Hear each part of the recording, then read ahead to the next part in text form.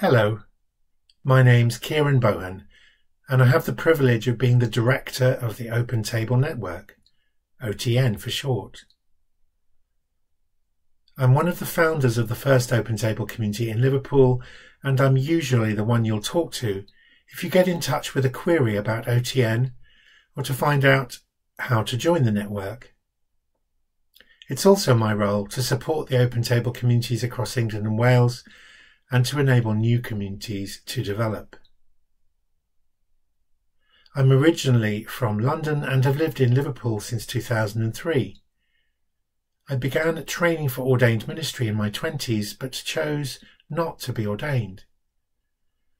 I have also worked in education and training, support for young people and adults at risk, and chaplaincy I moved to Liverpool to study journalism and web design and worked as a freelance marketing consultant for several charities. I have been able to bring elements of all this experience into supporting the Open Table network. I've been involved with Open Table since the first community in Liverpool began in 2008. In 2015, Open Table began to multiply into a network of communities hosted by inclusive churches in five different traditions which welcome and affirm people who are LGBTQIA plus our families, friends, and anyone who wants to belong in an accepting, loving community. Between 2015 and 2017, I supported the growing network as a volunteer.